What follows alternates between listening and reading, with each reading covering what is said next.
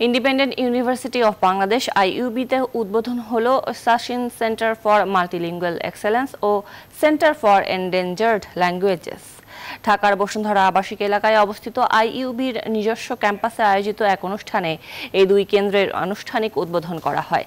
সংস্কৃতি বিষয়ক মন্ত্রণালয়ের প্রতিমন্ত্রী কে এম খালিদ এর উদ্বোধন করেন। এ সময় গেস্ট অফ অনার হিসেবে উপস্থিত ছিলেন আইইউবি বোর্ড অফ ট্রাস্টিজ এর সদস্য দিদার হুসাইন।